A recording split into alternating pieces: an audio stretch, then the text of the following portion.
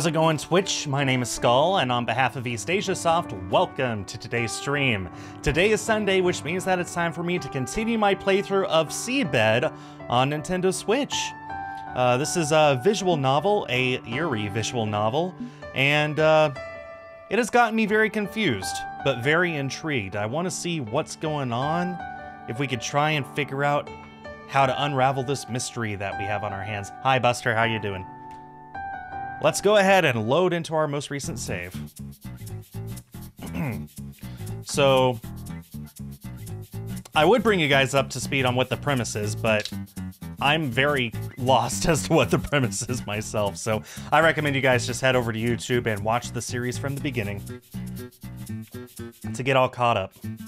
As I'm sure a lot of people on YouTube afterwards watching this very stream are doing. Hello to all of you probably turn the music down even a little more. There we go. Okay. Takako opened the drawer and stopped moving. What are you doing? I felt nostalgic over there for a moment. Do you even know what that word means? There were some leftovers from the presents I received over the holidays. You still haven't eaten them all? Or rather, have you actually not had enough yet? Takako took out a few little bags from the drawer, then lined them up on the desk.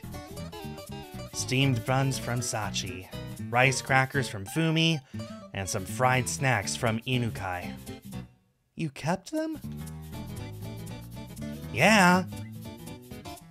I couldn't decide if I should eat them to keep myself awake during the morning, have them for dessert after lunch, or use them to get a quick energy boost in the evening.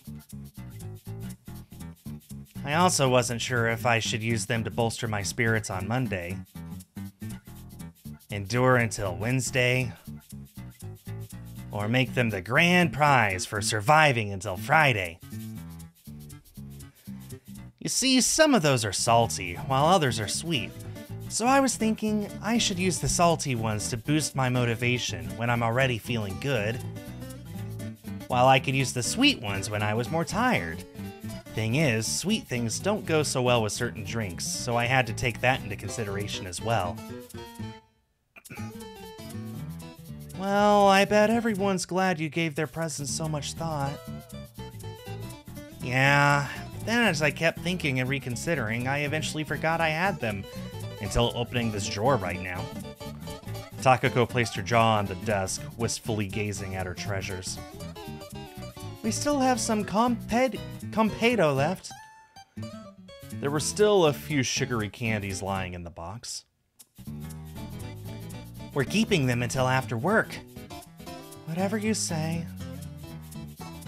Eventually, Takako chose the steamed bun to her right, she popped it into her mouth, her face remaining completely emotionless as she chewed.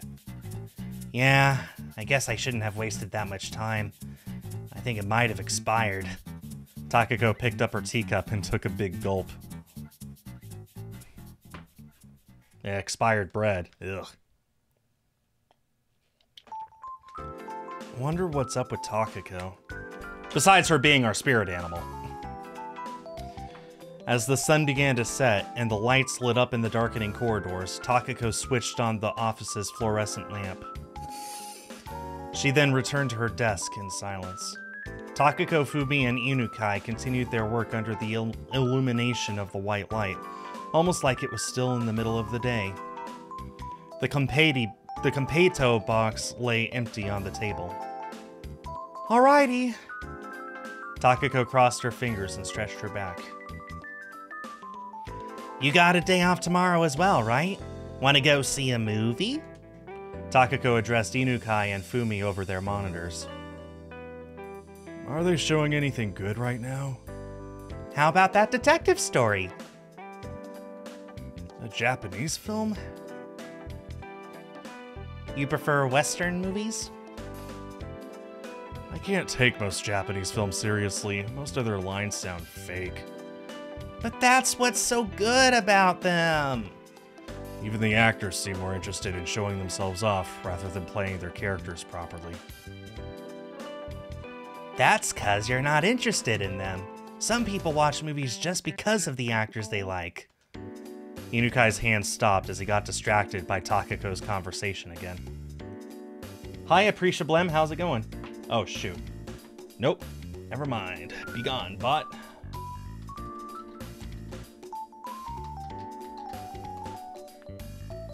Thought that was an actual viewer. And then I read the message. I have some plans for tomorrow, so I can't go. Fumi made a quick response while arranging the things on her desk. Didn't you say you were free on the weekend? I did not. My friend from high school is getting married tomorrow. Come on, it's kind of rare for us all to get a day off at the same time. Can't you skip it? Takako placed her elbows on the desk and leaned closer to Fumi over the monitors. They asked me to sing. I can't just ruin their plans like that. Fumi leaned away from Takako. You can sing? Miss Fumi used to be in a band, from what I've heard. Inukai joined the conversation. That's awesome! Were you actually producing original songs and stuff? I still have one of the CDs we released. Well, not like I'd ever bring it in here. What? That sounds like so much fun! Go make one yourself, it's not that hard. I can't think of any lyrics. You could just write down whatever. We'll take care of the music. Hey, I've never even kept a diary. Song lyrics might be a bit too much. Most people's creative writing experience begins and ends with emails, I suppose. Thank you very much. I am Takako. Does that sound good enough? Sure, why not? You could try and go for this ultra polite band. All right, let's make the name of our album Deathmatch and the title of our first song Deviation. Does that sound good to you? All I have is a bad feeling about it. The grandfather clock in the corridor signaled the beginning of the new hour. Sorry, but I have to leave early. Fumi placed the belt of her handbag on her shoulder and stood up. Thanks for all the work today. See you next week. Inukai and myself said our farewells to Fumi as she headed toward the kitchen. You're going already? I'm visiting my parents tomorrow. Have to start preparing for that. Fumi told Takako the exact same information that was already written on the whiteboard behind her. I think I'll be leaving soon too. Progress is as I have previously reported. Fumi put on her coat and left the office. All right. Thanks for all you did today. The sun had already set, making the temperature in the room drop a notch.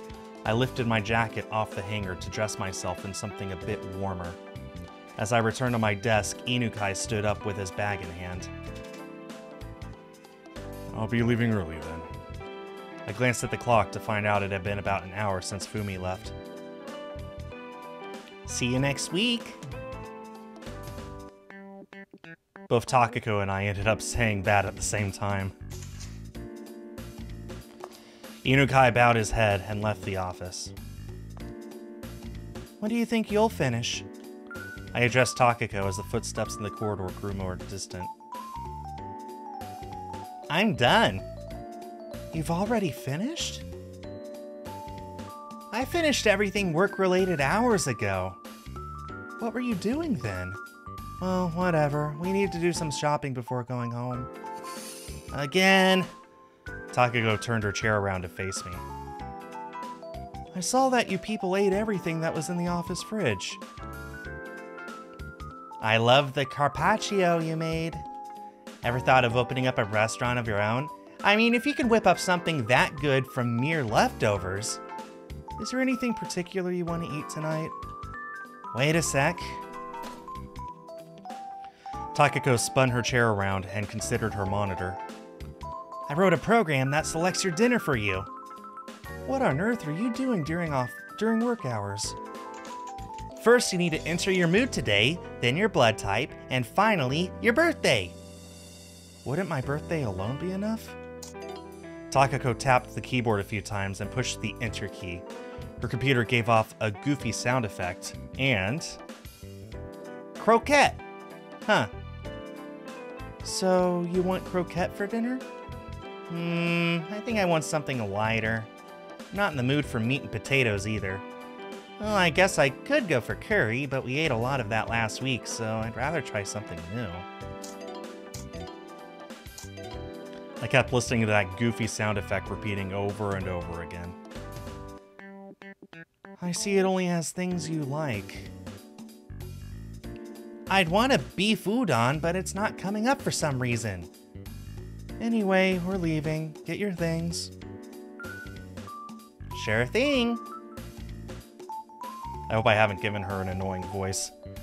Takako turned off her computer. I'll go turn off the lights outside. And with that, she left the office to take care of the lights out in the corridor.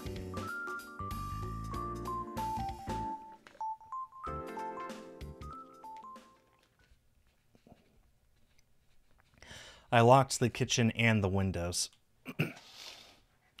the office door opened as I was pulling down the blinds. Hello? I turned around to see Inukai with a bag in his hands. What happened? Uh, oh, what happened? I forgot my keys.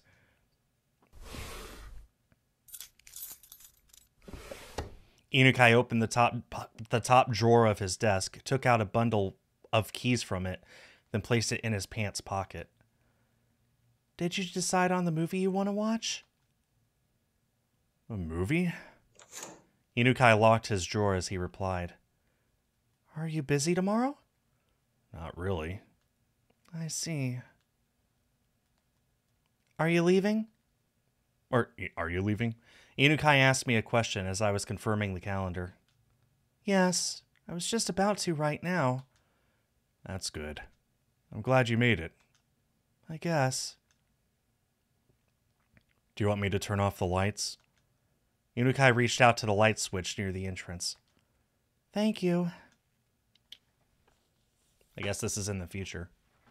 I looked around the dark office but spotted no lights from any running machinery I might have missed. I picked up my bag and keys before continuing toward the main corridor. Have you seen Takako outside? Inukai furrowed his brows. Takako?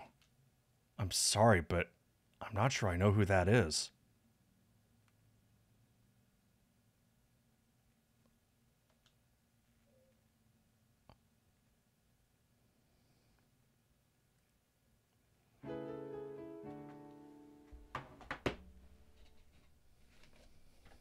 Did somebody order a pile of bricks?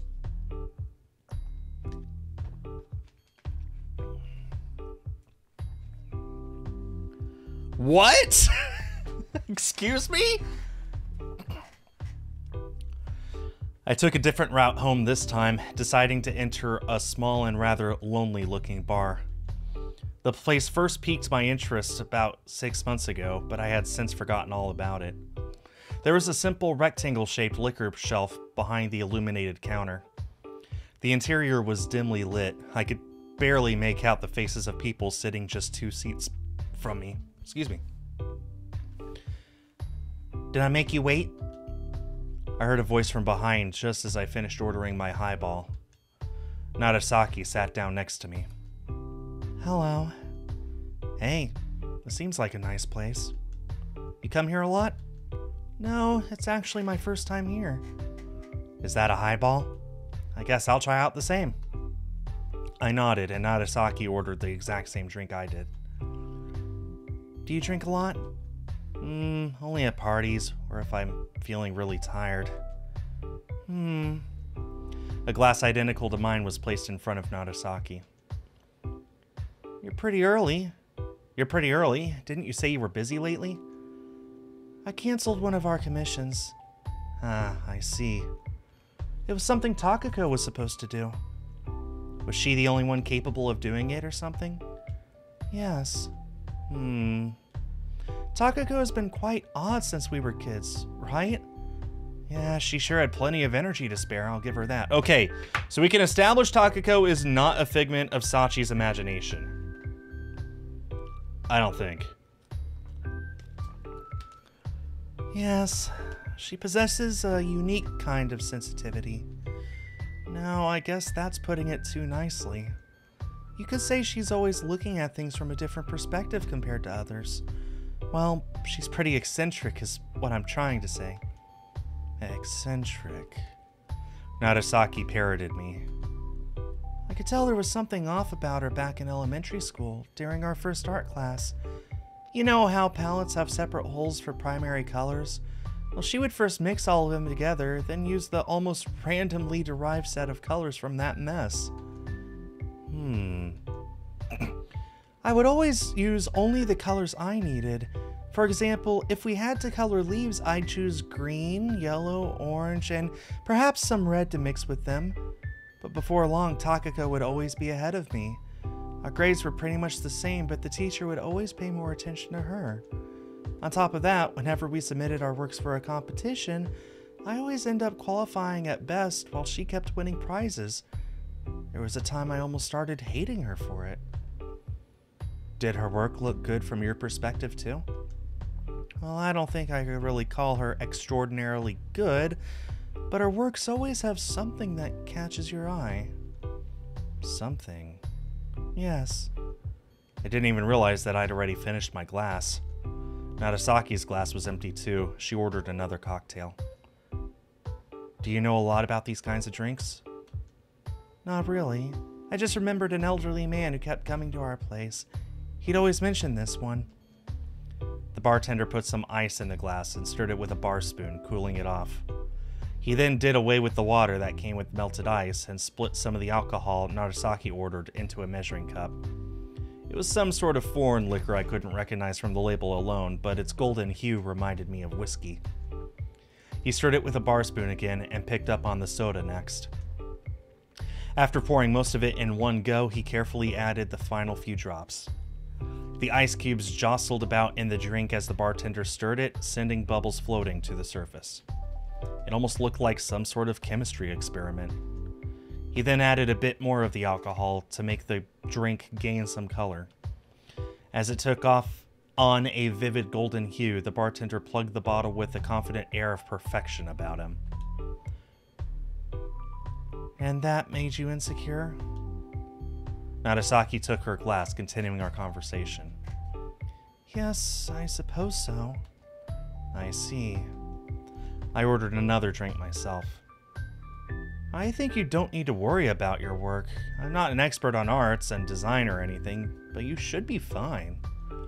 And why would you say that?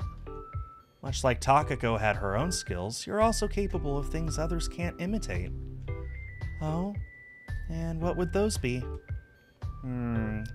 I'm not sure how to put it, but I guess one could say you're able to comprehend things at their base level. Am I? Even supposing you're right, what use would a skill like that be? With enough effort, you could accomplish the same things as Takako. You think? After all, you're one tough gal. Few things in the world could phase you. With that, I can agree. Haha, I see. Narasaki chuckled.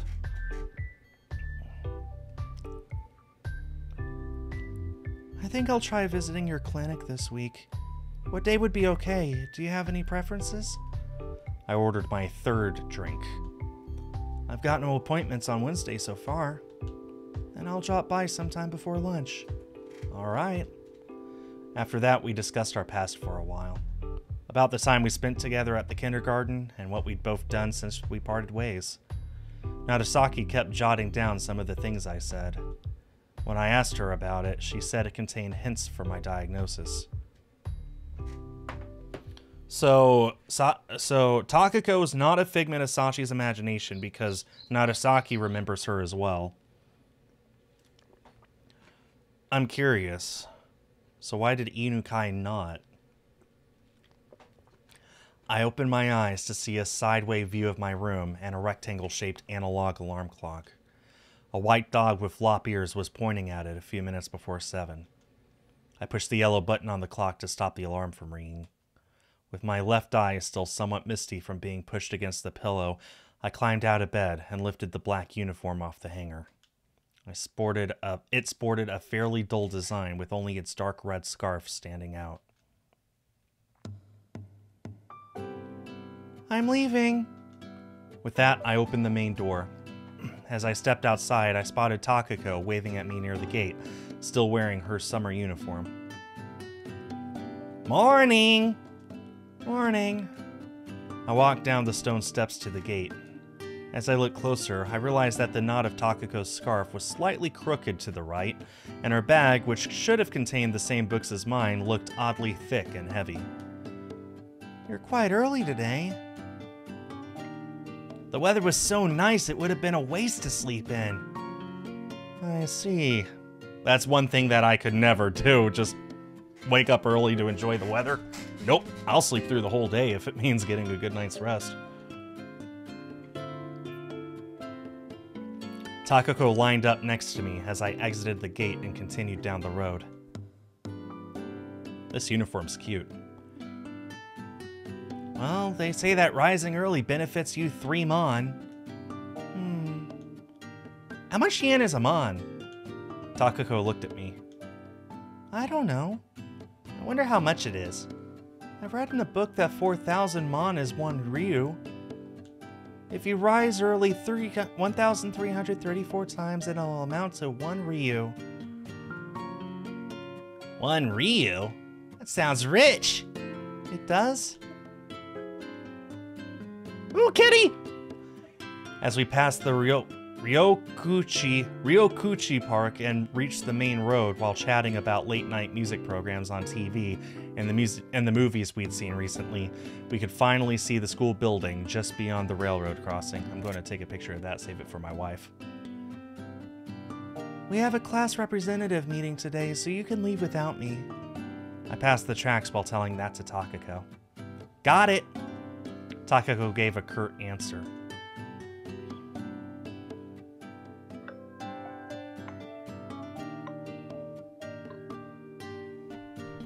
A few minutes after the bell signaled the end of the school day, countless students filled the previously empty corridors. You have a class representative meeting after this, right? Yes. In that case, we'll be going home ahead of you. See you tomorrow. My classmates left the classroom. What are you doing? What are you doing? I addressed Takako as she was taking her sweet time to clear her desk, awkwardly lagging behind even after everyone else had left. Got some time today, Sachi? Didn't I tell you about the class representative meeting? Oh, okay. With that, Takako picked up her bag and staggered out of the classroom. After giving the clock above the blackboard a quick glance, I pulled out my English textbook and some notes from my bag. I placed them on the desk and after turning to the page with the material covered in class that day, began translating one of the longer passages. Oh man, that sounds like a lot of homework. Tick, tick, tick. The clock above the blackboard kept ticking away. As I finished my review and turned the page to start preparing for tomorrow's class, the classroom's door opened.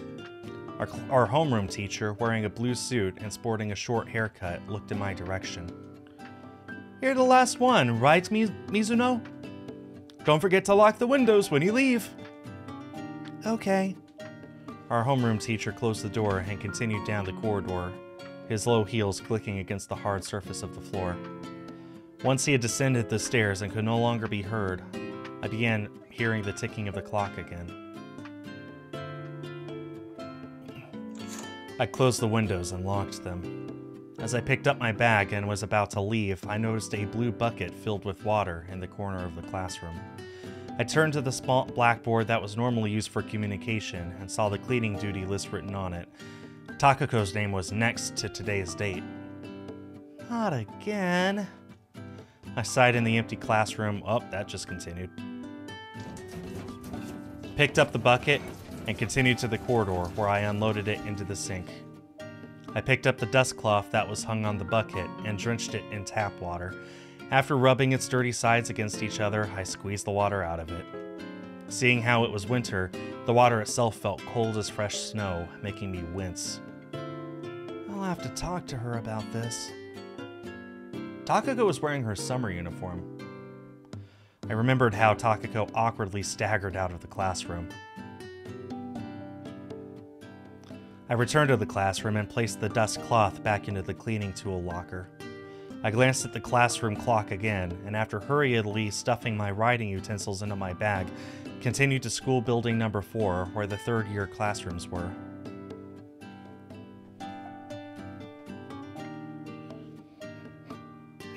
As I descended the stairs, I ran into Takako at the exit of the school of the school building. Is this a shoe rack? I think this is a shoe rack. She was looking at her shoe locker with her arms crossed. After a few seconds, she reached out and slowly opened it. The next moment, her shoulders slumped. If utter disappointment had its own sound effect, I would have heard it just now. That's right. Today was your birthday. Hearing my voice made her turn toward me. Sachi! Her lips curled into a happy smile. I'm sorry, but I've got nothing for you this year. No way! It took only a second for her smile to turn into an expression of despair. Hmm. Come here. I walked closer, seized her arm, and continued toward the exit. Where are we going? I'll give you something good. We circled around the building and reached the desolate area behind it. What's this something? I looked around, briefly surveying the place. Okay. I took a step closer to Takako. This made Takako jump a bit, after which she timidly closed her eyes. That's not what I brought you here for. I tapped her forehead with my palm and pointed at the ground below. okay. You can have this. Takako looks down. Wow, her hair's a lot shorter here. Huh? What? Look! It's a four-leaf clover I found earlier. Takako let out a beastly owl as she fell to her knees to inspect the clover. Uh, but you can't pluck it, okay? Another howl reverberated across the yard as I stopped her. That's not why I brought you. That's funny.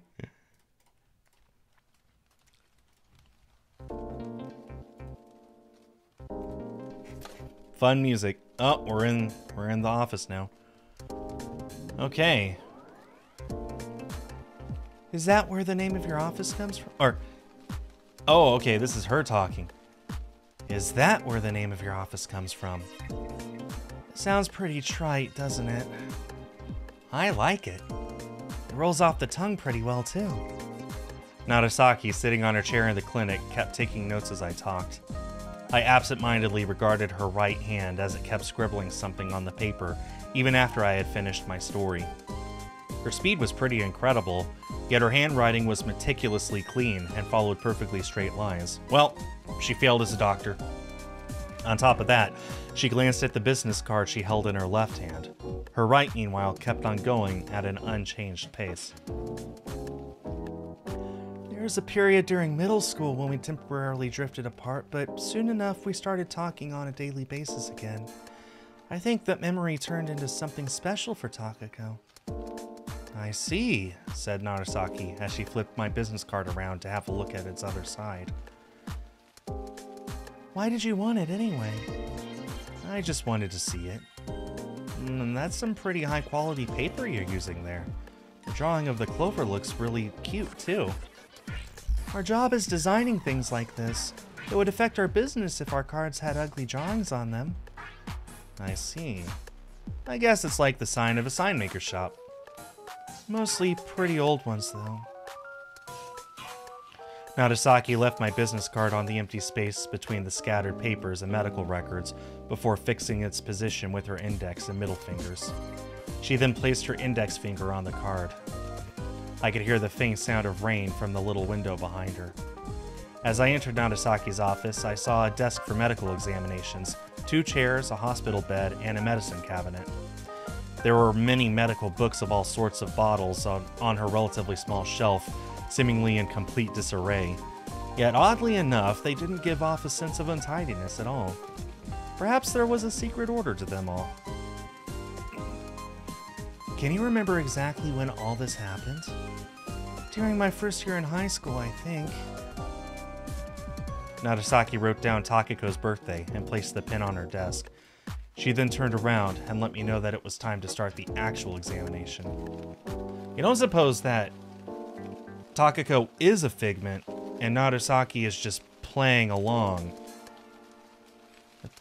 Ah, man. This game is having me guess a lot. Let me hear your symptoms first. Don't be afraid to tell me anything, and try to be as specific as possible. I told her everything I was aware of. First, I told her about the ringing in my ears. Although I had already said most of what there was to say in the cafe. Although I will point out, the game starts from Takako's perspective. We haven't seen that since the intro, the prologue, whatever it was called. We haven't seen that at all since then, not even once. So, but we have seen it. So I don't think she's not real. I don't know. After that, I told her about the hallucinations. I'd never given her any concrete examples before, so this time I went into as much detail as possible when describing how I interacted with Takako at home or at the office. Narasaki kept taking notes in her medical chart as I spoke. As I kept recalling things on the fly, I occasionally had to stop and think about whether a given event took place before or after Takako had disappeared from the real world. Did that really happen after Takako disappeared? Narasaki seemed to have noticed as well and made sure to question me about it. I answered honestly, saying I wasn't quite certain. But then I told her about how I found out that Inukai had never actually met Takako. Narasaki nodded and after a short pause gave me a serious look. So you're saying that this junior employee, Inukai, told you he's never met her? Yes, but I can remember seeing them working together. In other words, one of you is wrong. Narasaki cocked her head to the side while crossing her arms and legs. She almost looked like the statue of the thinker. It didn't look like he was lying to me. When did he join your company exactly? I got curious about that too and looked it up. I pulled out a copy of his resume from the bag I'd left in the basket and handed it to Narasaki. hmm. It says almost two years ago. The date on the resume was the start of the previous year, so it made sense to assume he started coming to the office within the following year. I waited for her next words. According to your memories, Takako disappeared last year, right? Yes. Hmm. In any case, I asked our other employee about it, and she remembered Takako. Fumi has been working with us since we established the place. I see. And it's been four years since then, right? Now that is interesting. That is very interesting. Which makes it... Narasaki moved the books from the table, pulled out a brown printer paper from the drawer, and drew an axis of time on it. Hmm.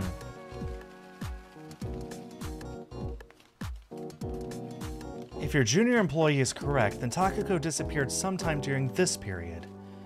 Narasaki pointed at the line marking four to two years ago.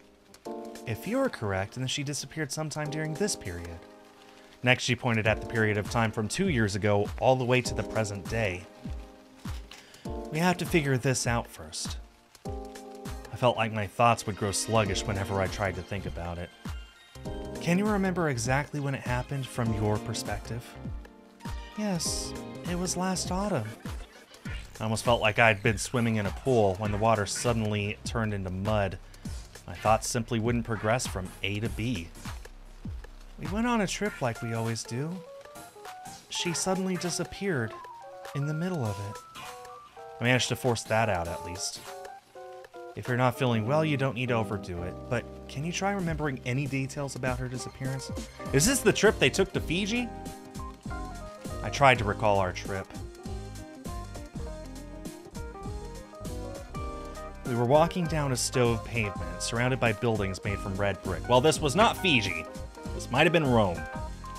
Takako was saying something, with her gaze fixed on the pamphlet map. But it was as though she was somewhere far away, and I couldn't make out her voice at all. The scenery itself began to distort, and eventually dispersed.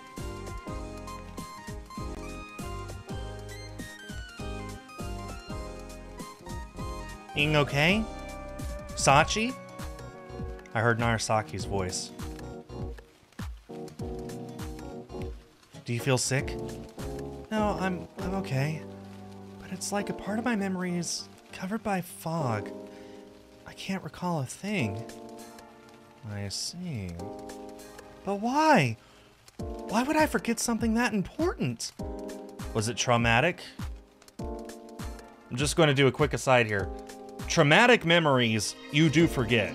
Your brain, it, it's a coping mechanism, it's a survival mechanism.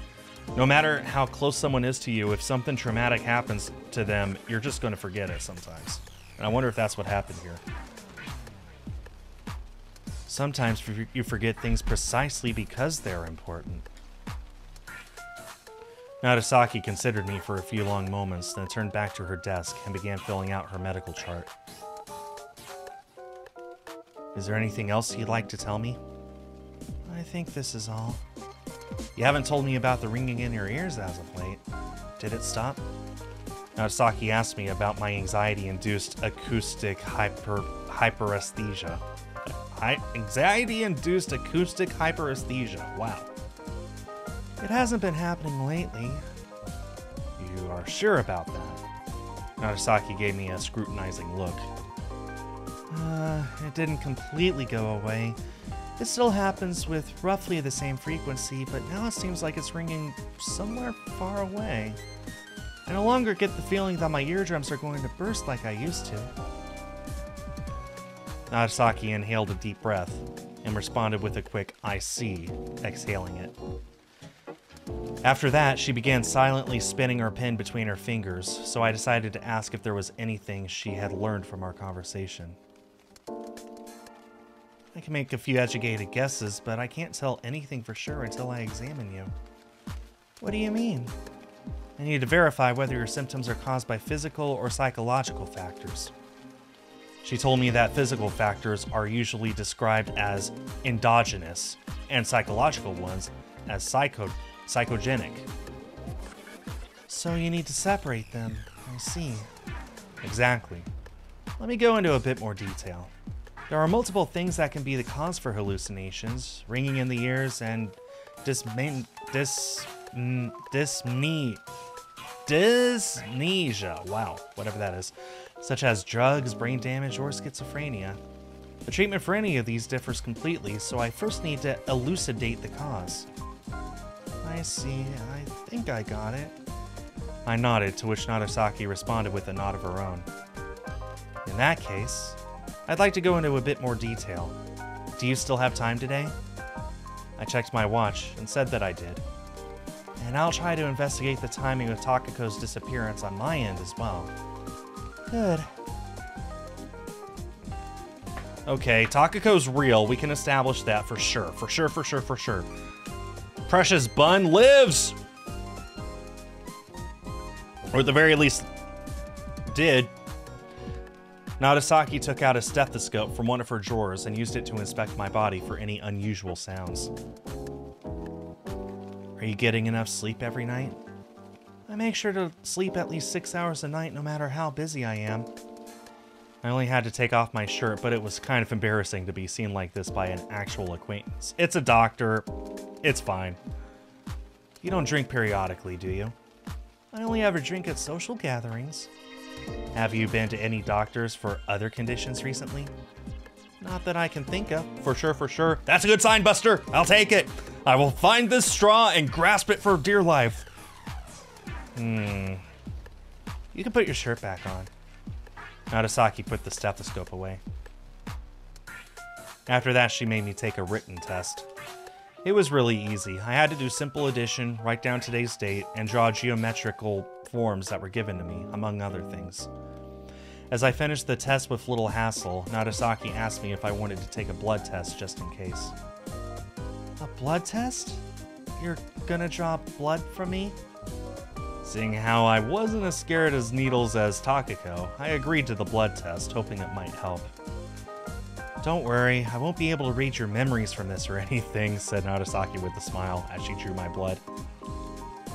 If it helps solve this, I wouldn't mind. The procedure came to an end as I was trying to look away. Been there. Rather than pain, what I felt was more akin to my veins being lightly prodded by a finger. Hmm. It appeared that Narasaki was good at drawing blood. After discarding the needle, she placed my blood with a... She placed my blood on a silver rack. I made a brief sigh, prompting Narasaki to ask me if anything was wrong. I was seeing hallucinations, hearing sounds, and to top it all off, I apparently had memory problems as well. If that wasn't enough to get one depressed, I didn't know what was. Uh, I was just thinking about how my mind wasn't as strong as I thought it was. Narasaki made one of her unique chuckles, exhaling the air in a single breath. What's so funny? I gave her an indignant look. You don't look that distraught, that's all. What makes you say that? I mean, if a sigh is the extent of your reaction. Oh, other way around. I mean, if a sigh is the extent of your reaction, I might not be good at conveying it, but I am genuinely worried, okay? Shows that you're still feeling fine enough to maintain a calm exterior. On top of that, you're trying to face this problem with a cool head. Most mental patients aren't that aware of their problems and only end up visiting a professional due to peer pressure. Compared to that, you not only recognize that something is off with what you're experiencing, but are trying to figure it out yourself through intellectual reasoning. In short, you're both tough and possess an open and flexible mind. Can't say that makes me feel any better. Well, you being this self-aware makes my job a lot easier, at least, Narasaki added with a smile. I hope you're treating this seriously. You shouldn't overthink things like this. I gave her a serious look, but she responded with her usual laid-back expression, as if nothing of importance had happened. I could see a rectangular patch of light on her shoulder that filtered in through the small window behind her. Noticing my gaze, Narasaki glanced at the window herself. The sound of rain abated, and now the faint window-shaped patch of light extended across the floor, well, we finished the blood test and all, so I guess we might as well have a sip of some coffee. Narasaki stood up and left the consultation room. As I killed time absent-mindedly, gazing at the pictures stuck to the corkboard on her desk, Narasaki returned with two cups of coffee in hand. She placed one in front of me and kept the other in her hands as she sat down. With her left hand freed, she put it in the pocket of her white coat, while using the right to take a sip from her cup. I reached out to my cup as well. Did that help you calm down a little? Narasaki posed that question to me just as I finished about half my coffee. A little. I don't think we saw much of anything yet, though. With these kinds of problems, just confiding in someone can help a lot. One's frame of mind is one's frame of mind is all that matters, she added. Had to admit, it made me feel better that she was acting so confident. I suppose I do feel a little less stressed now. Narasaki grinned. What are we going to do from now on? Well, for starters, I heard you out. Now I'll have to look through the results of your examination to be able to tell what exactly is going on and what the causes are. Then I can come up with the best solution for you. She would make it clear what the problem was before tackling it head on. I'll take care of all the complicated stuff, so you should just relax and give me some time. Alright. As I've told you, if you come here, I'll see this thing through to the end, or at least until you're satisfied. Okay. Don't worry about it too much for now. As our appointment drew to a close, Narasaki told me that this was just a preliminary check. After deciding on the time of my next visit and indulging in some small talk, I left the clinic. So what is going on with Takako? I bet something happened to her and it was traumatic and that's been scattering Sachi's memories. Maybe I shouldn't bet that because god, this game is making me guess so much. That's that's my leading theory right now is that something happened during that trip to Takako and Sachi it forced Sachi to forget all about it. anyway. the sun shone brightly in the sky as I left the clinic. I wouldn't have been surprised to see a rainbow as well. I didn't dislike the smell of wet asphalt. I looked at the taxi parked in front of the pharmacy, but quickly averted my gaze before the driver could make eye contact. Another taxi drove to the clinic. I wasn't really knowledgeable about this area, but I felt that my office shouldn't have been that far from it. After thinking for a few minutes, I decided to go on foot. As I expected, after moving north a few blocks, I found myself on a familiar street. Relieved, I continued walking, thinking back to my conversation with Narasaki. Hallucinations, ringing in the ears, whatever that word is, did sound pretty depressing.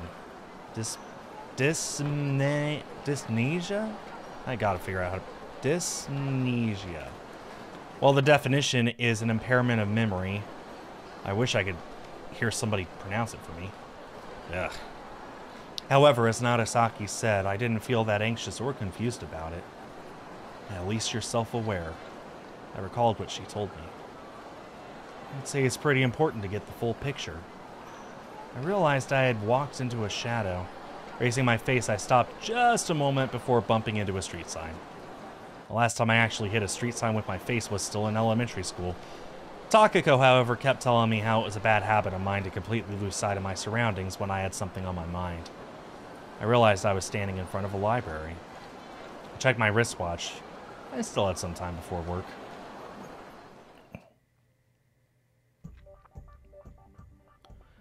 Psychology was in a different section for medicine, so it was a pain to find it. However, before I could spot an idling library worker, I found myself in front of a shelf with these kinds of books. I randomly picked one up and opened it. This music is interesting. It seemed to be a dictionary dealing with terms of clinical psychology. I read through a few random pages until my eyes stopped on something. Catharsis. A method of treatment that makes repressed memories resurface in order to avoid an explosive buildup. Making repressed memories resurface. According to the definition I was aware of, the word referred to the purification of emotions. However, in the context of psychology, it also seemed related to what Narasaki was talking about understanding the whole picture. I closed the book and considered the shelf again. In the end, I chose two books and brought them to the counter. As I left the psychology section, I stopped, wondering if I should perhaps borrow some other books, mostly for recreational reading. The librarian behind the counter noticed me lingering about. Over here, please. The librarian was a woman of short stature whose head barely reached up to my shoulders. I checked the floor behind the counter. It was the same height as the floor on my side. Do you happen to have a membership card? She addressed me with a slightly high pitched tone. No. Is this your first time visiting? Yes. I'll prepare a card for you then. Can you fill out this form here? She placed a piece of paper and a pen in front of me. I wrote down my name and contact information. How long will this take? I handed her the form and glanced at the clock on the counter. Just a few minutes. Her reply was quick and curt. I wish she was more specific, but I nodded and decided to wait. I placed three books on the counter, and the librarian scanned their covers with a barcode reader. I heard three beeps. She picked up the card that came out of a machine beyond the counter, gave it a final check, then handed it to me. Here you go, your library card. It really didn't take long. I picked it up along with my three books. Didn't she only get two? The sun was starting to set as I left the library. This time I headed straight for the office, but it was a slightly farther than I expected. I ended up arriving late. Interesting. I wonder what the I wonder what the significance of the library is. The hour arm of the clock above the entrance was pointing at the number 5 when I finally reached the office building. As I began ascending the stairs, I heard the footsteps of someone coming down. Oh, Inukai! Hello, on your way home? Hello. I'm leaving on time today. What about Fumi? She's still in the office. She said she wanted to talk to you about something. I see. I'll be going then. Alright, see you tomorrow. I reached the floor where our office was located, continued down the corridor, and stopped in front of the door. As if jolted by static electricity, my hand suddenly stopped right before touching the doorknob. But I simply shook my head and stepped inside.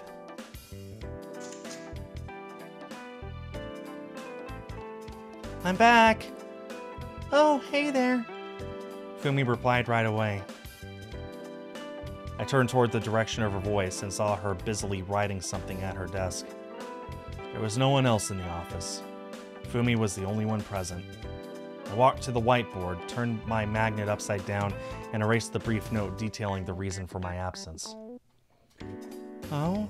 It says here that Inukai is still in the office.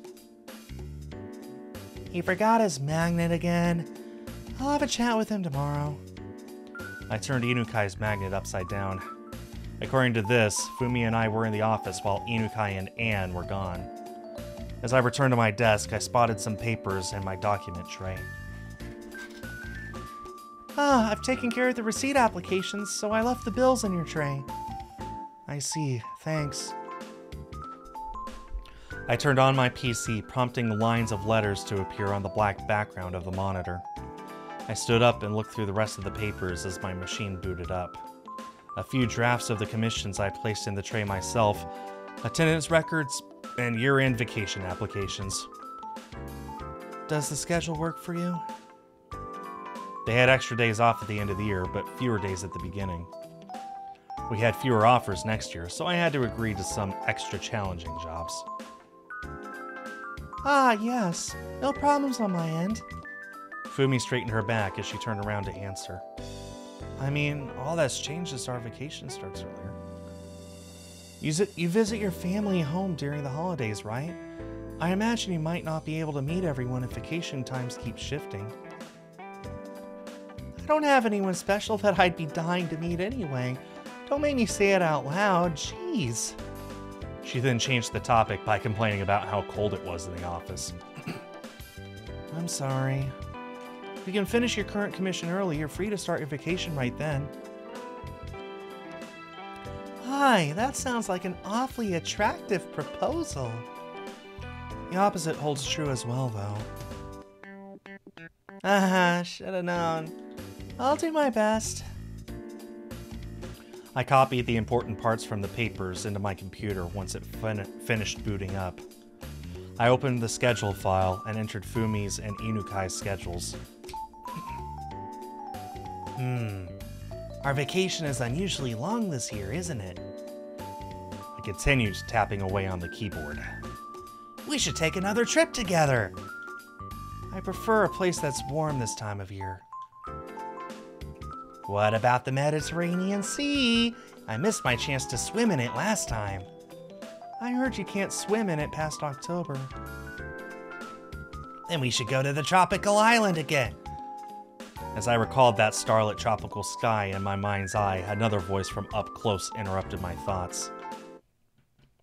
Um, Miss Sachiko? What? I was startled but didn't jump, instead continued with fake calmness. Is something the matter? You seem to be talking to yourself there. It's nothing. Pay no mind. Okay, then. She brought me some tea. Thanks. If you don't have anything else for me, I'll leave by 7 tonight. Alright, go ahead. Fumi returned the tea tray to the kitchen and focused on her work. Um, would you like to have dinner together? Fumi addressed me. Sounds lovely, but I can't. There's something I need to finish. I see. Let's go some other time. Sure thing. Fumi left the office at 7 like she had said, and after killing some time so we wouldn't run into each other, I followed suit.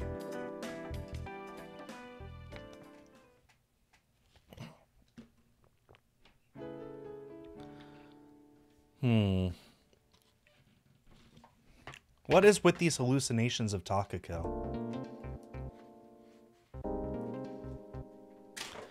Two days later, I ended up finishing my work early, so I told Fumi and the others that I had a little errand to run and ran and went straight to the clinic. Upon telling Narasaki about it, she asked me if everything was okay with work, adding that it must be a hassle to jump through all those hoops.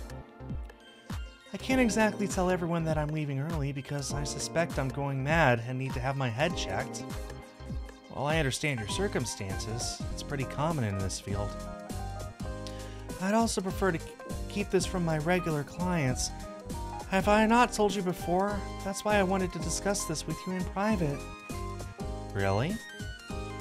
I looked at Narasaki's desk. It had a bundle of medical records on it. Beyond that, on the wall, I spotted a green board with some memos, a couple of landscape pictures, and a small calendar pinned to it. The calendar had a picture of a turbulent looking sea on it. It seemed dangerous to swim in, the entire scenery was dominated by the color blue. Even the cliffs in the distance seemed somewhat affected, resembling massive icebergs. The days below the picture were circled. They had all sorts of errands and what were most likely appointments written around them. Did you find something interesting? Or did you find something interesting? Narasaki addressed me while jotting down something in my medical record. Yeah, I was wondering, how long have you been working here? I'm approaching my third year as a practicing physician. Before that, I worked at a different clinic. I considered her white coat, trying to imagine her usual day here.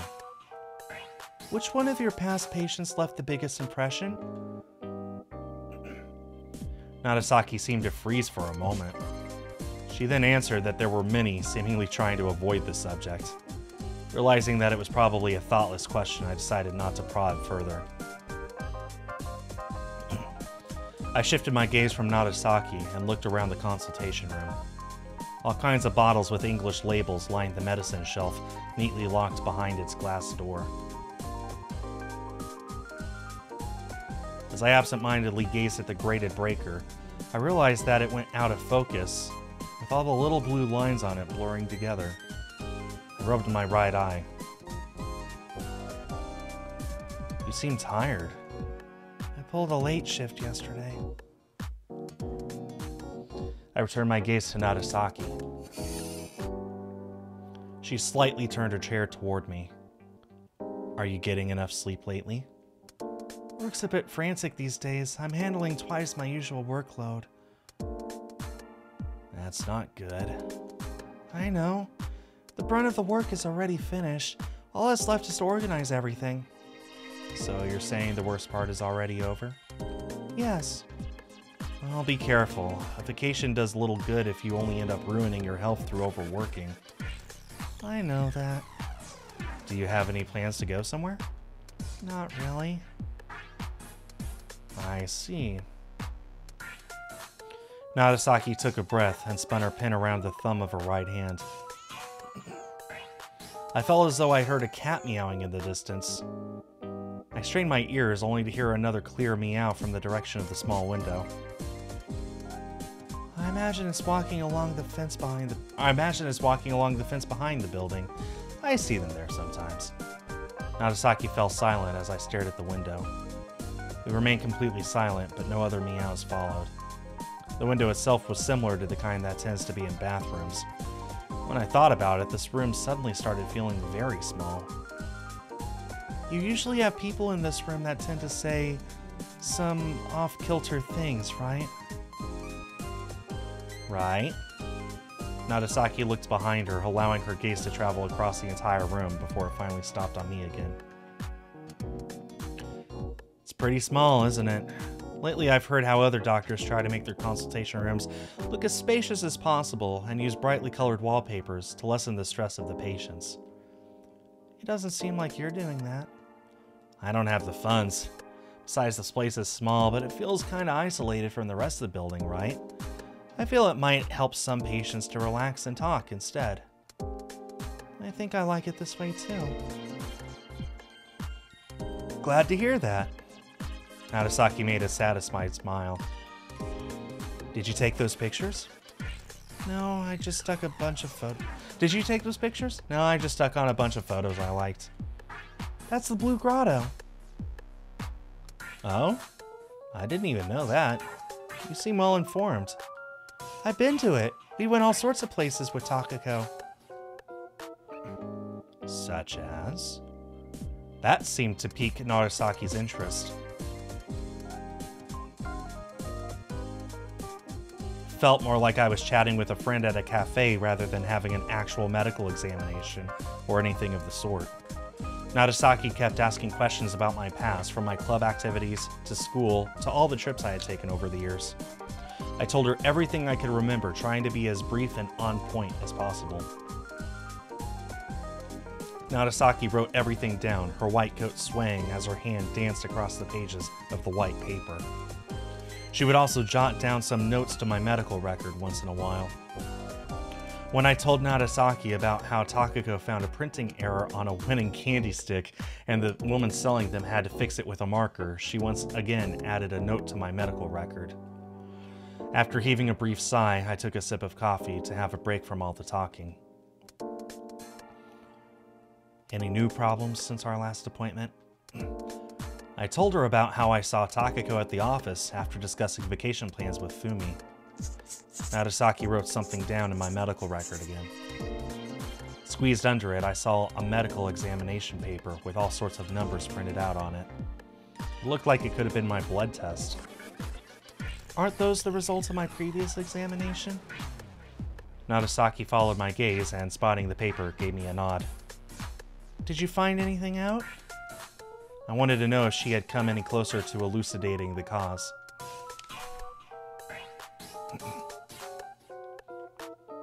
of course I did. Narasaki pulled the paper out and placed it on top of the medical record. For starters, it doesn't seem like her condition is physical. She explained, tracing the top line of the results with her finger. According to our tests, your physical health is in perfect order. All your blood values are normal, and we found no drugs in your system. According to the written test you took, it doesn't seem like your intellect is impaired in any way either. And finally, from your reactions to my questions during our conversations, I'd say schizophrenia can also be safely ruled out. Then what's causing this? It's most likely something psychogenic. I guess something along the lines of a strong mental trauma or chronic stress. Or perhaps both, she added. I tried to consider both possibilities. I was busy with work, but I didn't have any severe problems. If anything, my company was on the rise. My personal life had grown quite lonely without Takako, but it wasn't to the extent that I lost sleep thinking about it. I also couldn't think of any particularly stressful or shocking situations I might have been exposed to. Not in my private life, and not at work either. Any ideas? Narasaki asked. I kept thinking for a few more moments, then answered in the negative. Narasaki nodded and leaned against her chair. Is something the matter? I imagine it's most likely that you've forgotten the cause. I'm not trying to sound like I know everything about you, but from what you've told me so far, I can't think of a more likely cause than Takako's disappearance. Besides, you told me you couldn't recall the details surrounding it. So, both the ringing in my ears and hallucinations are caused by that? I'm not sure about the ringing, but it would be natural to assume that your hallucinations of Takako are. I've already thought of that possibility. Takako's disappearance left a deep wound in my heart, and I was chronically exhausted from trying to manage my life and work without her. But I've never faced that pain. Instead, I made up another Takako in my mind to distract myself from it. Seems like you were thinking something along those lines yourself. Indeed, I was. It was natural for her to assume the same.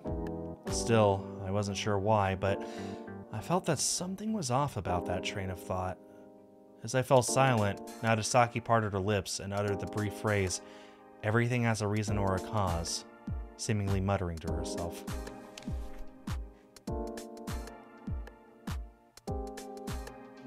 I glanced at the medical record in Narasaki's hands. It had a cause and symptoms written down on some sort of diagram looking thing. You still can't remember anything about how she disappeared? No.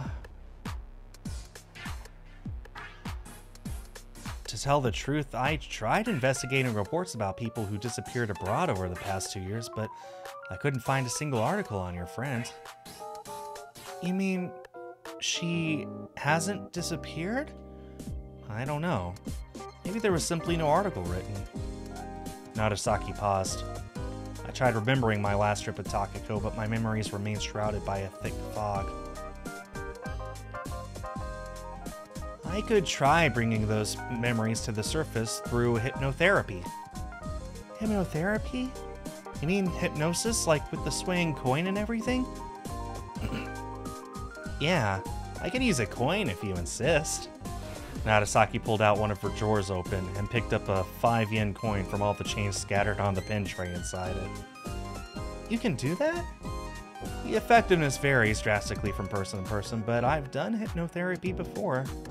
If Takako's disappearance really is the cause of your hallucinations, we might get a hint that could help with your recovery, provided you remember how it all happened. As I stared at the sizable coin on the desk, Narasaki placed her hand on it. But first, I'd like to confirm that you actually want to get rid of the hallucinations. As I gave Narasaki a puzzled look, she explained that my symptoms were slightly different from all the other patients she had dealt with. What's so different about me? The difference is that your symptoms don't seem to affect your life in any negative way, at least as far as I can tell. What do you mean? What do you think are the main problems with hallucinations? I cocked my head to the side. For example, let's say a patient keeps seeing bugs crawling on the walls or crazed killers chasing them through the streets. That causes them to get startled or even start running, even when nothing is really happening. If that keeps happening periodically, well, you can imagine how it might become difficult to lead a normal life. That's what I mean by negative effects. However, in your case, it sounds like you've spent at least two years leading an ordinary life despite your condition. That's true. Also, not only did you not realize there was something wrong with you for two years, but neither did your acquaintances. I don't believe a massive difference in perception, such as seeing a person who's not there, could go unnoticed for long. As I've explained, hallucinations are false information interpreted by your brain as genuine. When you're looking at Takako, your eyes should be fixed on an empty space. When you hear her speak, you react to sounds that aren't there. Do you think no one would have noticed that for two whole years? Especially when you actually have conversations with her. She had a point. Now that I thought about it, my two colleagues seemingly showed no signs of finding anything wrong with my behavior. Narasaki regarded me in silence. I realized that Narasaki had not seen me act that way either. And according to her, there were no physical factors that could have caused me to act this way either. From her perspective, it might even be plausible that I was making all this up. I'm not lying. I know that. I know you. You're not the kind to make up things like that. Narasaki's expression turned somewhat more mellow. Well, I suppose it's possible you simply never had any conversations with Takako when the other two were present. That can't be true. I have memories of all four of us talking. I may have been having conversations with her, but they certainly but they certainly couldn't have. In that case, perhaps you act normally when you're in front of them, the way you would if you understood that Takako was gone. I don't know. Are you saying my memories are incorrect? Most likely. In your head, there's a delusion that Takako is still with you, and it keeps overriding your real memories. Hmm. I considered Narasaki's words for a while, with my gaze fixed on the floor. Soon enough, I heard her chair creak, which made me raise my face again. So, let me repeat myself. Are you sure you want to get rid of those hallucinations, even though they don't seem to interfere with your normal life? She continued without waiting for my answer. For example, there are people with alleged psychic powers that can see ghosts and auras around people. From the perspective of psychiatry, that's a condition that should be looked at, but from their perspective, it's not something they necessarily want to be cured of. That's because neither of those cause severe problems during their normal lives. In a way, your situation is similar. Inside you, there seem to exist both the office without Takako that you share with your colleagues, and an alternate one with her that you keep to yourself. Besides, I couldn't find anything psych physically wrong with you either, so there's also the possibility this might go away on its own eventually. I felt like making a sigh, but I held it in. Still, if there's anything... Still, if there's anything that can cure me, I want to try it. I'd rather not want to worry about suddenly starting to talk about things that don't make sense to my colleagues, and seeing things that no one else does kind of weirds me out. Narasaki broke our gaze as she fell in thought for a few moments and looked back at me. Over that time, the pen in her right hand moved from between her thumb and index finger, traveling all the way to her pinky in wide arcs. Then it returned to its former position the same way, almost like someone had rewound a tape. Well, it's not like everyone always sees the same things anyway. I furrowed my brows, unable to understand what Narasaki meant. When I was a kid, I told a friend that a flower she drew in arts class had weird colors. But my friend thought those colors were beautiful. Her flower mainly used rich colors like red, blue, and purple, but for whatever reason, she used achromatic colors like brown and gray to color a few parts of it. It honestly looked pretty creepy to me. But to my friend, who likely possessed a different interpretation of colors, it looked very charming. Narasaki looked around and pointed at a decorative strawberry on her table. For example, we can both agree that the strawberry is red. However, there's no way to tell if the red you and I see are the same. There's no way to express such a difference in words, and it causes no misunderstandings either. I think you're losing me. Huh? Really?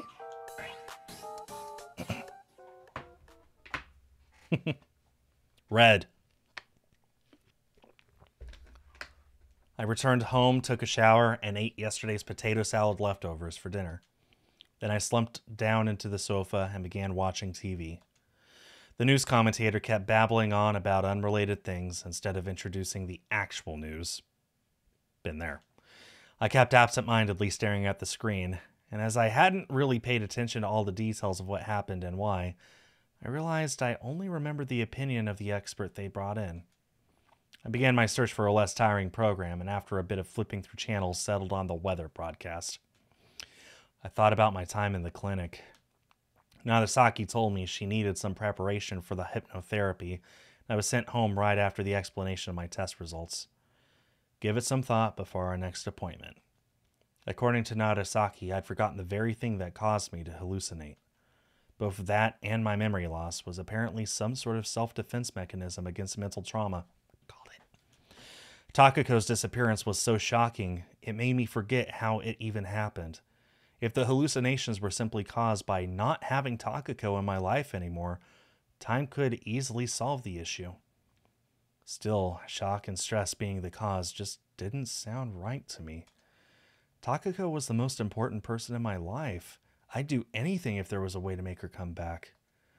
But neither she nor I could have wished for nonsense like this.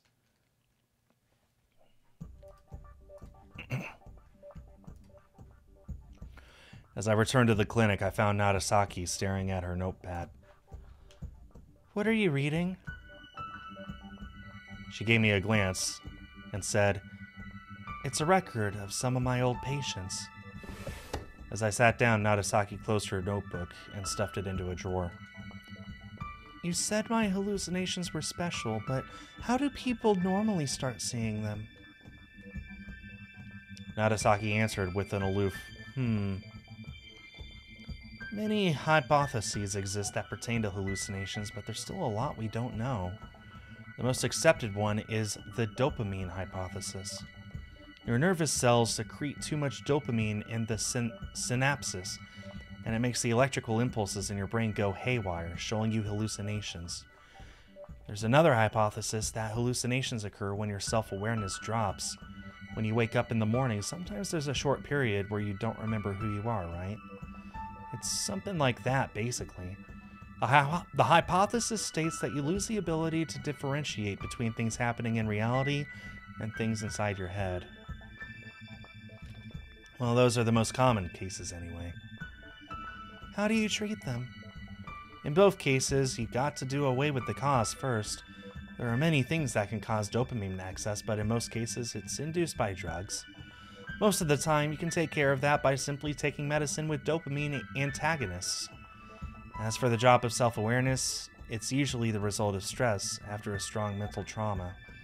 In that case, you first have to elucidate the concrete cause and solve it for the patient. Hmm. Sounds pretty complicated. Don't worry about it. Your case is different, and besides, you can leave all the complicated stuff to me. Narasaki gave me a smile. I wonder if determining the cause will also make my hallucinations disappear. Everything has a cause and a reason. We'll start from clarifying those. Everything had a reason. It was something I'd heard Narasaki say before. Actually, I think I'd heard her say something along those lines multiple times. And I agreed with the idea. I think my symptoms have a reason too. I told Narasaki what I'd been thinking about since last night. I think. I think I've mistaken the date of Takako's disappearance to make sense of why they'd both be in the office at the same time. That has to be it. But I'm still not sure why my hallucinations happened in the first place. Even if her disappearance was an incredible shock to me, I doubt I'd want to deceive myself just so I wouldn't have to face it. I just wouldn't do something like that. So I want to remember what really happened and figure this thing out properly. Narasaki nodded. You might end up remembering something unpleasant, though. I tried imagining what it could possibly be, but nothing came to mind. Putting that aside, though, I was more scared of living my life seeing things that weren't real.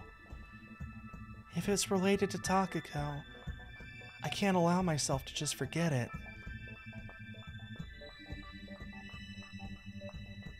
Whatever this is, it better not be graphic. Don't do this. Don't do that to me. Narasaki picked up the 5 yen coin from the desk. Are you really going to use that? Narasaki made a silent smile as she attached a piece of string to the coin. I'll use hypnosis to bring out memories from your subconsciousness to the surface. However, there's no guarantee they'll be real memories. There were cases when a hypno hypnotized patient started talking about being kidnapped by aliens, or their memories from a previous life. The brain has a hard time differentiating between real memories and illusions. So, if something like that happens, what are we gonna do? I'll ask you questions, and I'll try my best to lead you to the answers we need while you're in an unconscious state. So, it's all up to you, basically? Yep. Don't worry, I'm actually pretty good at this. Are you ready? I am. I sat down in the cozy armchair, almost lying down. Narasaki came closer and told me to relax. Then she told me to watch the coin. As I started as it started to slowly sway, she began to talk. Try remembering that trip. I focused my thoughts on the last trip I had with Takako. A street paved with stones, brick buildings around me. Takako and I are walking together. Street paved with stones, brick buildings around me. Takako and I are walking together. I felt the nostalgic scent of a town I visited a long, long time ago.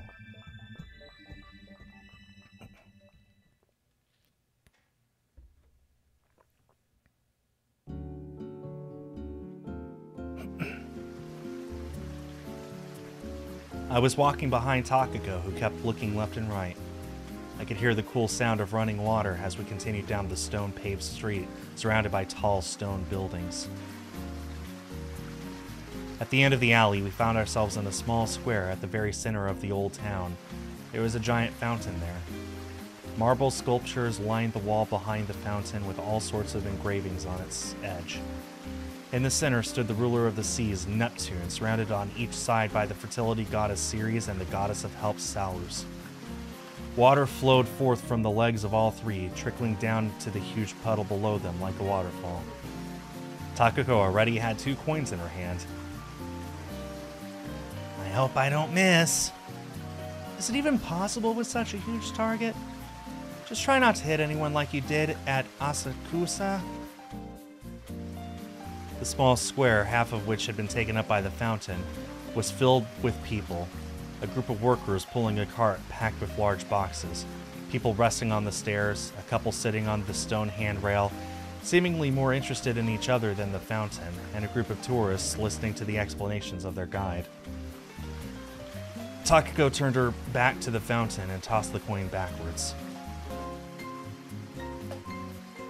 The coin, painting a beautiful arc against the blue of the sky, plopped into the water, vanishing from sight. Did I get it in? As I nodded, Takako's face lit up. After taking a handful of pictures in front of the fountain, I grabbed Takako, still reluctant to leave, by the arm and left the square. Where are we going next? Hmm, as we entered the alley neighboring a gelato shop, Takako placed the camera back into her bag and pulled out the tourist booklet we bought at the airport, spreading the map that she kept inside it. Then she checked the compass key holder that was attached to her bag. The main attraction today is obviously the cathedral, which is here. And we're here. Which means we gotta go there.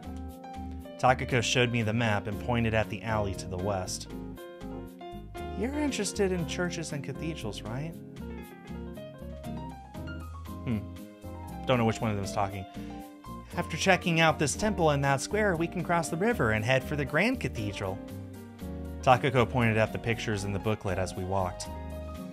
Hmm. I heard a rattling sound from behind the corner next to the shoe store. Whoa! Takako jumped out of the way of a yellow tricycle that suddenly appeared. The tricycle, its cargo box filled with red and pink flowers, creaked as though expressing some sort of discontent, then swiftly disappeared beyond another corner, leaving only a faint fragrance of flowers in its wake. It smells nice, Takako remarked. There were many stores in the arc shaped alleyway, their display windows filled with a plethora of things. A wine store had a bunch of wooden boxes with bottles stacked in front of it. A confectionery had two transparent bags of colorful beans hanging above its doors. Its orange tinted display window was packed with three rows of various chocolates and candies shaped in the forms of flowers and fruits. Sachi, let's hurry on to the temple! Takako, who had gotten ahead of me as I briefly halted to look at the candies, came back and clasped my hand. You're not embarrassed to hold hands? Everyone's doing it here. Remember that couple at the fountain? Those two are glued to each other. She pulled on my hand. Besides, we already went on a trip together. What's there to be embarrassed about? Takako let out an audible laugh. As we exited the alleyway, we found ourselves in another square with a fountain. So I guess they're in Greece? It was surrounded by people who looked like street performers and souvenir shops that seemed to specialize in wood carving. They're either in Greece or Italy, okay? Turning to the right, I spotted a huge white pillar. As we continued down the bustling square while clasping each other's hands, another set of pillars appeared from the shadow of the one we saw from the distance. Whoa, it's huge! The triangle shaped roof of the temple was supported by 16 big white stone pillars. Under it, there was a long entrance with a tall ceiling that was shaped like a cylindrical dome from the outside. It's okay to go inside, right? I want to see how it looks. Takako pulled my hand towards the entrance, nimbly evading the people in the crowd. I looked up at the dome above our heads. Unlike the entrance, there were no pillars supporting it, and I could see the blue sky peeking out from the hole in its center. After admiring the divine looking pillar of light, we continued toward the morning market that was mentioned in the booklet. Okay, this is this is Italy. I recognize that flag. There were no big roads that led to it, so we had to use all, all lots of tiny alleyways between buildings. Despite getting lost a few times, we finally found our way to our destination. However, being exhausted by the long trek, we decided to first take a break at a nearby restaurant. What kind of flower do you think that is? Which one? We gazed at the market from under the white parasols leaning, lining the restaurant's terrace. There were countless wooden stands next to each other. Every single one sported canvas roofs to protect them from the sun. Their assortment included food, spices, fruits, flowers, and other miscellaneous goods. There's a blue bucket with purple flowers near that stand. I'm not sure what they are. They look kind of like chrysanthemums, though. I wonder if we have them in Japan. Remember that vegetable store from earlier? It was pretty awesome. Who would have thought there'd be so many different species of tomatoes? I wonder if they use different ones for different dishes. As we were discussing the market, the waiter approached us to take our order. You gonna order salad again? Yeah. Or you gonna order salad again? Yes. As Takako spoke with the waiter, all the while gesturing like a crazy person, I glanced back at the market one more time. Looks like a festival. It's nice to see everyone running around and back and forth with so much energy. I wonder if it's like that every day. Takako said that as she finished conveying our orders. Seems like the square has served a variety of different purposes over the years. At one point, it was a field of flowers. In another period, it was used to stage executions. Or her. I told her what was written on the building. Executions? You know, like flogging. I wonder if the people who came here to pick flowers ever imagined the place would end up like that. Uh, Italy? No, haven't been there yet. I will one day. I need to have authentic pizza and pasta in Rome. It needs to happen. As a lover of pizza and pasta. or if the people who are flogged here expected this area to eventually become a market. I'm not sure how that matters in any way. Takako shook her head, wolfing down the fruit she bought at the market. Like, try imagining someone in the distant past sitting in the same place as we do. What if that someone imagined that there would be a restaurant here, and that a woman sitting there would be thinking about them? Wouldn't that be incredible?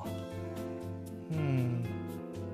Would have been pretty miraculous for them to imagine that some Asian girl would one day be bringing it up to her girlfriend while chewing on fruits. I'm willing to bet it's about as likely as the birth of another universe or something. Really? Or rather, even less likely than that.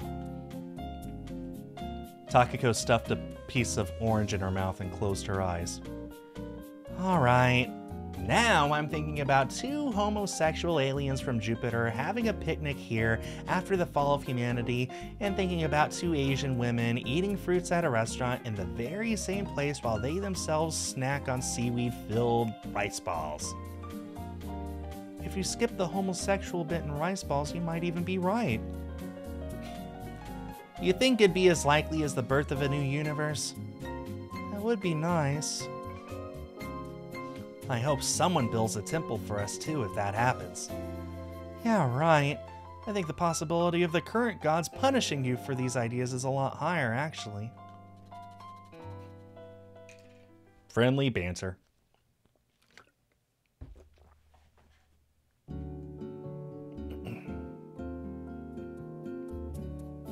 We stopped in front of a panini sandwich cart that stood at the middle of a stone bridge across the river. It resembled a giant opened up umbrella with gelato, soft drinks, and all sorts of snacks lined up under it. We bought some panini and drinks and continued down the road. I still can't get used to how cheap everything is here. Takako remarked as she gobbled down her panini. She's going to put on weight if she keeps buying stuff. Her sandwich was shaped like a cream puff with cheese, prosciutto, ham, and rucola, rucola herbs. Wow, I do not know those words. Unable to watch Takako try and fail to fit it into her mouth, the store clerk helped her crush the thing into a smaller size. You want a taste? Noticing my stare, Takako offered a bite of her sandwich. I nodded and helped myself to a small portion. The bread had just the right amount of crispness to it, while the savory smell coming from inside it, combined with the taste of ham and cheese, resulted in a truly mouth-watering culinary experience. Kinda surprised you can get something this good at that price. The restaurant we had lunch at was pretty cheap too. I wonder if it's their economy. Could be. I answered her as I wolfed the food down. Then I took a sip of the Coke we bought at the same store. We could save money, quit our jobs in Japan, and move here. Takako crossed the river and entered another alleyway. That's one plan for the far future. Then maybe we should move here earlier and run a shop together, like the one we just been to. You mean a cart? They had flower carts in San Francisco too. Yeah, you see them a lot overseas. I guess it's cheaper than renting out an actual building. I wonder what they do on days with bad weather. With no air conditioning, I doubt business is booming during winter. On top of that, if the wheels of the carts get damaged or something, you can't sell anything until you get them fixed. Yeah, I wonder how they profit. There's no way to know unless we have the data, but given the amount of them in this town, it can't be that bad. I imagine you can insure the cart too. I see. If you're so curious, how about asking them directly? I pointed out another cart shop at the road by the river. It seemed to be dealing in women's apparel and had all sorts of clothes hung up that blocked the view. Still, I could at least spot a female customer talking with a white haired, middle aged clerk. Takako looked at the cart for a while before turning back to me.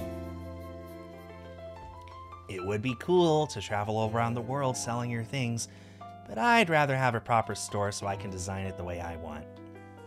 I'm sure that bothers you more than profits. Of course! In either case, we'd have to study the native language here.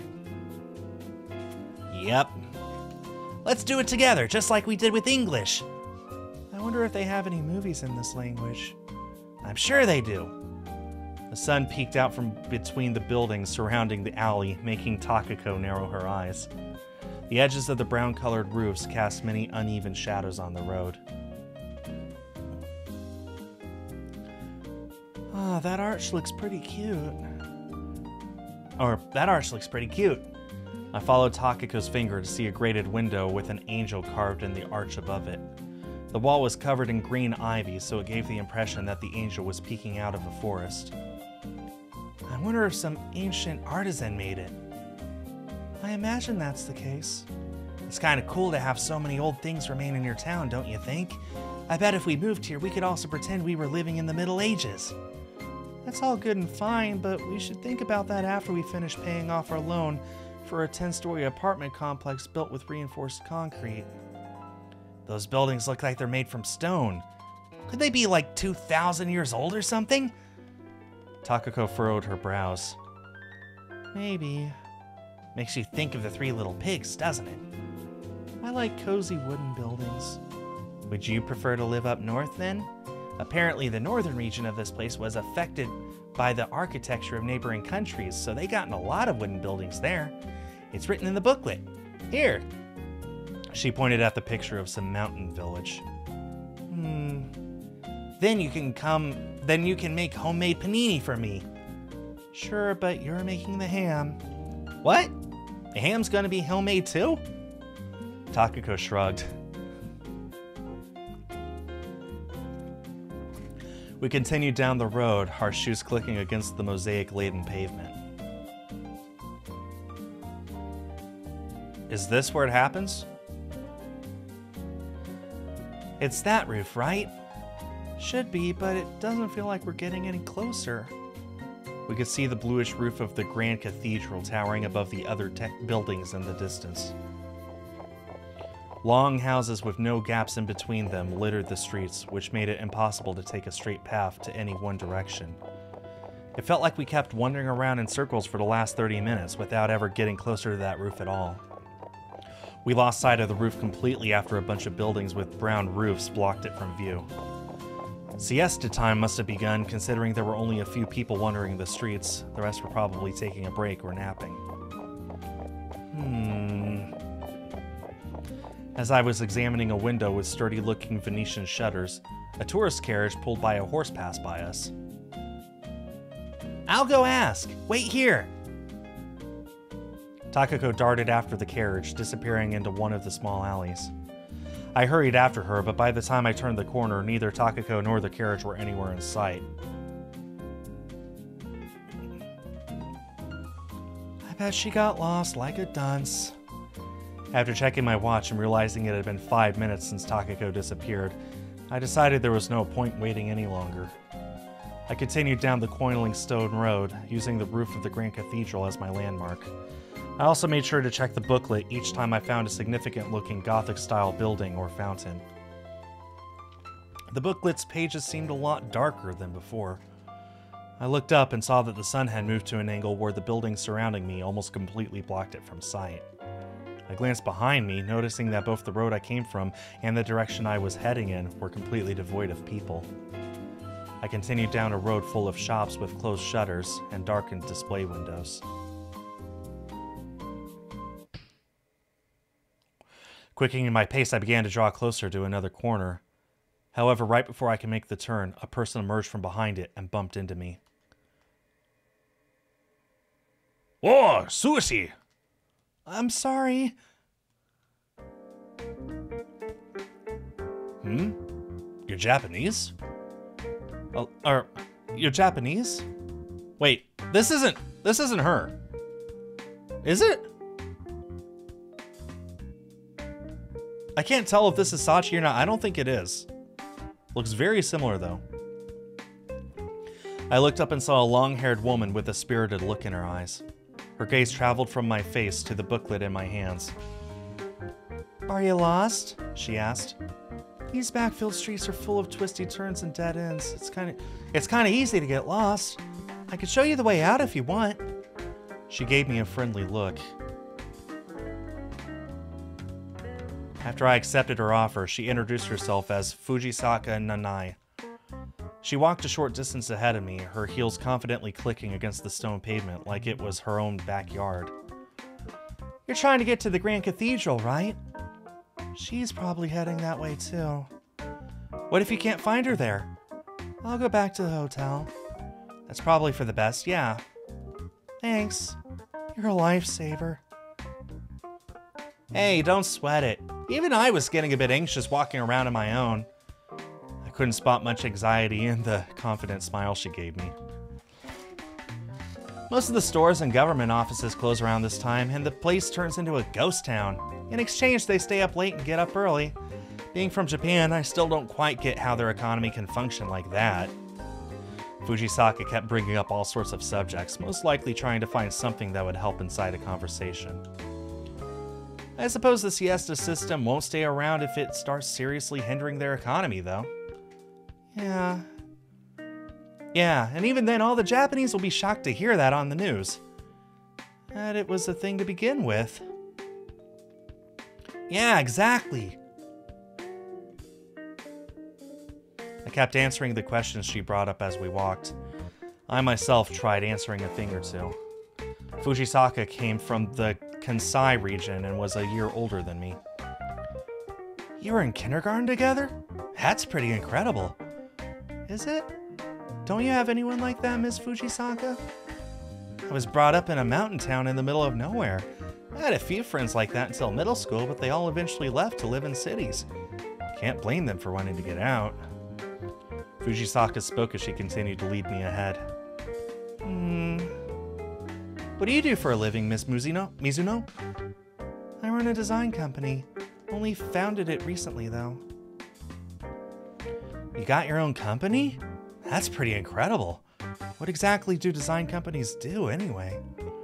We design logos for other companies, advertising posters, packages for all sorts of goods, and so on.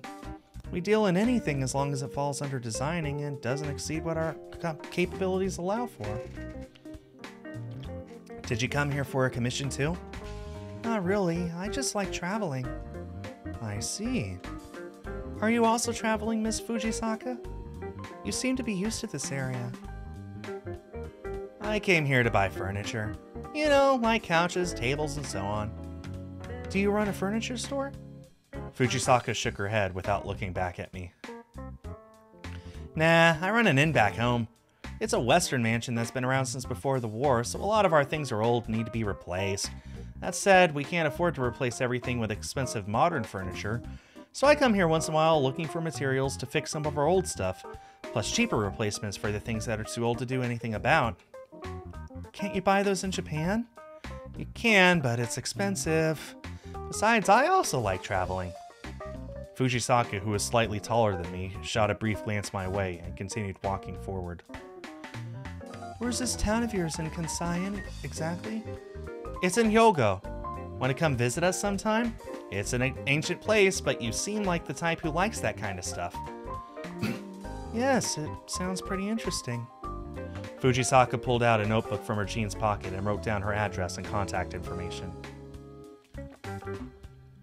I don't have a business card. Maybe it's about time I made one. She tore out a page from her notebook and handed it to me.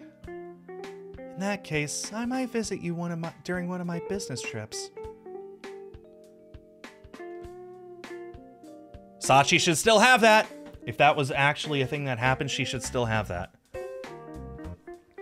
We continued down a street decorated with flower reliefs, and after passing through another narrow hallway, alleyway, found ourselves in front of a huge cathedral.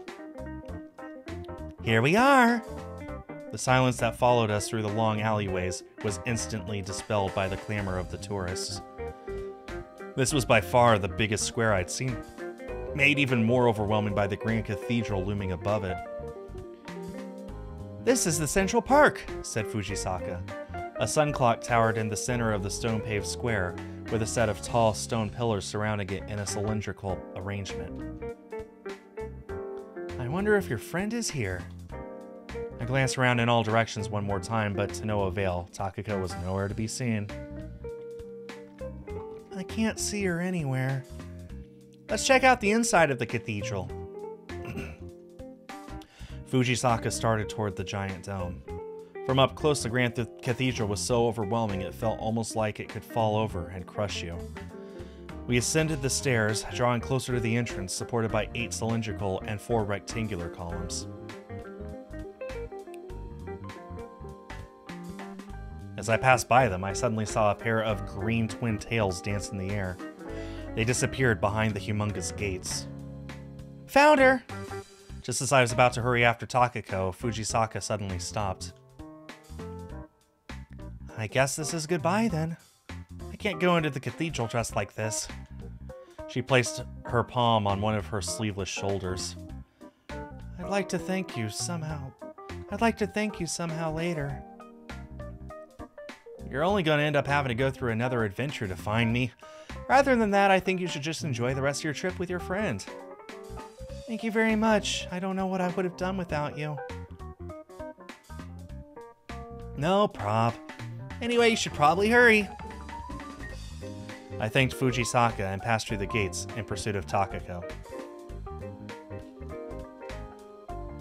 I took a quick glance back and saw Fujisaka waving me goodbye. If that temple we saw earlier followed a simple is best kind of philosophy, then this one seemed closer to gorgeous is best.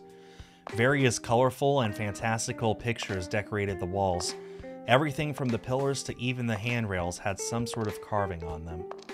The pillar of light descending from the ceiling illuminated both the statues of angels as well as the painting of heaven on the walls. Not letting my eyes linger on one spot for too long, I looked around for Takako, finally spotting her ascending the stairs under the huge tectorium. I followed after her, making my way up the spiral staircase. As I reached the veranda on the upper side of the Tectorium, I descended another small set of stairs leading further up. After going up another dark, spiral staircase with no windows, I suddenly had to stop and narrow my eyes at the light coming from outside. The wind blew past my ears as I reached the outside of the Tectorium. Opening my eyes, I was met by a vast, rust colored cityscape stretching before me. I looked down at the Central Park and the various alleyways that Fujisaka and I traversed earlier. Sachi! As I looked over that breathtaking sight, all the while struggling to hold my hair in place against the fierce wind, I heard Takako's voice from nearby. I was looking for you, Sachi. Takako, her expression colored by surprise, made her way through some people in the narrow passage and approached me. Is she really here? Before she could hug me, I squeezed her cheeks between my palms. And just where did you go? I kind of got disoriented after losing that carriage. Okay, she's real. And then I spotted this blue bird and started following it. Before I knew it, I was in the square. What are you, middle? Did the sight of an ancient town make your brain leap into a fantasy world? I heaved a long sigh. How'd you know I'd be here? Well, you do love high places. We know each other so well, we don't even need words. I flicked her on the forehead. At least we have the common decency to realize when I'm calling you an idiot. Before long, the orange of dusk completely overtook the blue sky. Well, this is this is a pretty sunset. The town below us seemed to have regained its life as people slowly began to fill the formerly deserted squares and alleyways. All's well that ends well. Takako scratched her belly. The darkening orange of the setting sun gradually painted the brown walls and tiles a deep hue of red. Although the buildings seemed to be lined up haphazardly below us, creating nothing short of a maze, all their windows were perfectly designed to be on the same height. It felt as though they were forming a giant tree with numerous branches extending across the town.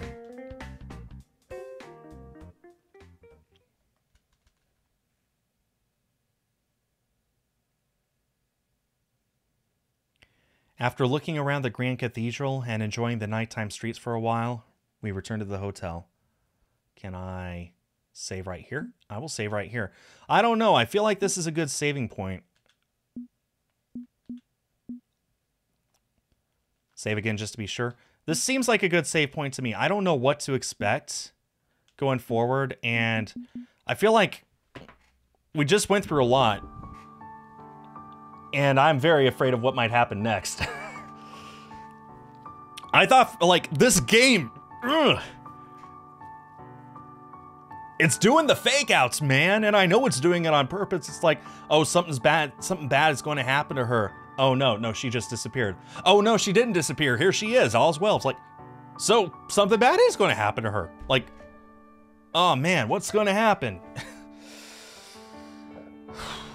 let's continue next week and see if we can figure it out. So that was Seabed. It's just a chill vacationing. Don't know what you're talking about. Yeah, yeah, yeah. That was Seabed. I'll be continuing it next Sunday. Thanks, Buster, for being here. I'll be back on Tuesday and Friday to play something else. Um, and as an aside, I will be in what you call. I will be in Las Vegas the week after next, so there will be a short intermission um, in between in between those. But next week I'll be back, and that's what matters most. On behalf of East Asia Soft, I have been Skull. Have yourselves a great day and a great week, and I will see you all next time. Bye bye.